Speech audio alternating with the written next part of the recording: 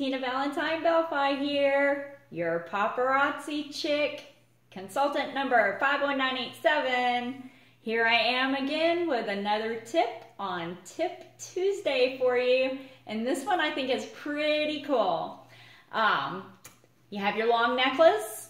I know y'all, a bunch of y'all have the long necklaces, but sometimes you just want something a little bit shorter a little bit cute, whatever, but I am gonna show you today how to take this long necklace and make it into a double strand short necklace, just like that.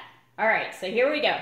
I gotta remove her hat. I'm gonna show her on, show you on the mannequin so you can see a little bit better.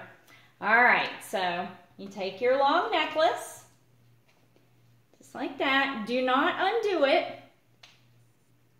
Grab it by the middle Put it around. Let me turn her.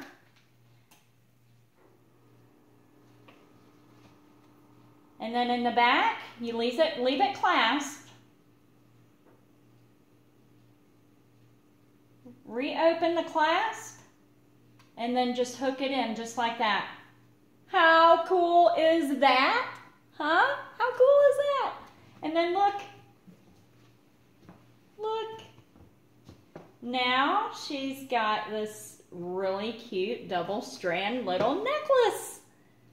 What do you think? I love it. It is so cute.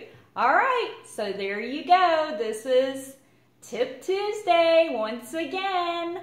Let me know what you think. And if you want to keep watching these and sometimes they get lost in the post in our group, you can subscribe to this YouTube channel.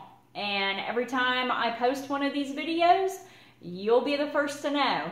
All right, I'll talk to you later. See you next week for Tip Tuesday. Bye.